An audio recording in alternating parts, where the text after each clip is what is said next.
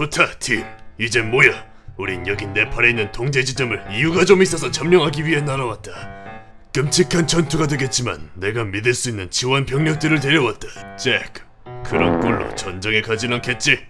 뭐 왜? 보기 좋잖아 아니 안 그렇거든 광대랑 편 먹고 같이 싸우진 않을 거야 여기 가브리엘이 나더러 유행을 하려고 그러더라고 그렇지 갑?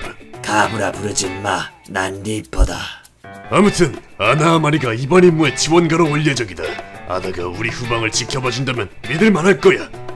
그래, 아직 맞출 수나 있다면 아나 아마리요? 오버워치 창립 인원 중 한 사람?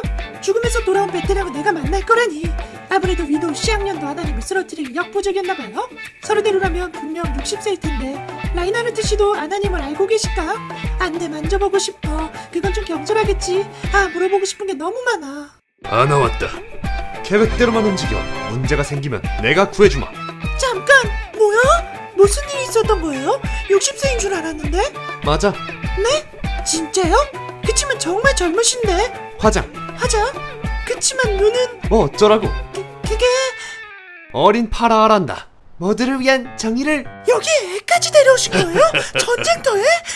아무래도 메르시가 맞았나 봐. 아무래도 오버워치는 실수 그 자체일지도. 이제 와서 그런 생각하는 건 무의미해. Seventy Six를 제외하고 하나 되어 팀을 이루고 싸운다면 우리가 어떻게 생겨먹었는진 중요하지 않아. 말 한 번 잘했네, 형. 그럼 그랬지.